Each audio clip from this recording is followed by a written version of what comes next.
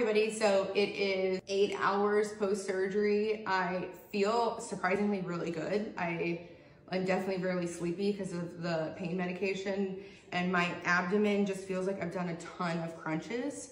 Um, and I have to remain hunched over because of the muscle repair. If I stand up straight, it could damage that. So I'm just staying hunched over and resting in the recliner. Um, but I wanted to show a couple of things. So I have, I got liposuction in my flanks and then a tummy tuck. So I have to wear this compression garment, but I have two drain, like getting all the extra excess fluids and stuff like that, um, that I'll have to wear like seven to 10 days.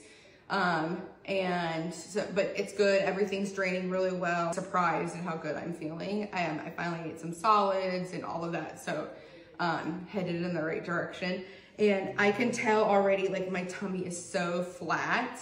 Um, when I met with my surgeon, like what he did was for like when he was drawing on me, we, he had me lift my apron belly up as high as I possibly could.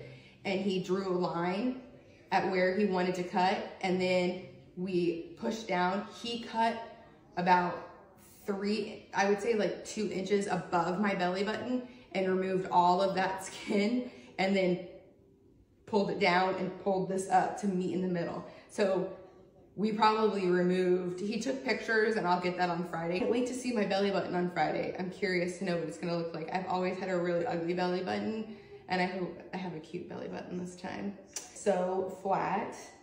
You can kind of see like how flat my tummy is.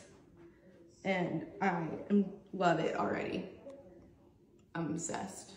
I, I think have I might have a six pack under here, but you know, we'll see. We'll see on Friday.